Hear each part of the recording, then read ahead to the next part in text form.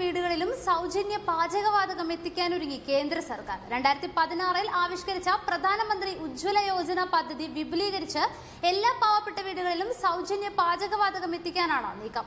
പ്രധാനമായും ഗ്രാമപ്രദേശങ്ങളിലെ സ്ത്രീകൾക്കാണ് അതിന്റെ പ്രയോജനം ലഭിക്കുക.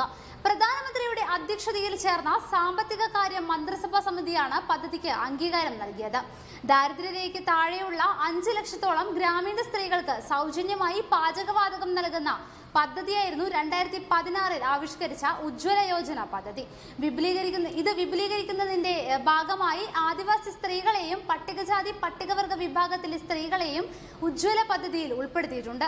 പാചകവാതകം എല്ലാ വീടുകളിലും എത്തിക്കുക എന്നതാണ് സർക്കാർ ഇതിലൂടെ ലക്ഷ്യമാക്കുന്നതെന്നും കേന്ദ്ര പെട്രോളിയ വകുപ്പ് മന്ത്രി ധർമ്മേന്ദ്ര പ്രധാൻ പറഞ്ഞു. ലോക്സഭാ തെരഞ്ഞെടുപ്പിന് മുമ്പേ പിന്നോക്ക സമുദായങ്ങളെ കയ്യിലെടുക്കാനുള്ള തന്ത്രമാണെന്ന് പറഞ്ഞാൽ അത്ഭുതപ്പെടാനില്ല. ഏത് നാടകത്തിലൂടെയും അധികാരം ഉറപ്പിക്കാൻ ഒരുങ്ങിയിറങ്ങാൻ തന്നെയാണ് ബി നീക്കം. കൂടുതൽ വാർത്തകളുമായി ഉടൻ തിരിച്ചെത്താം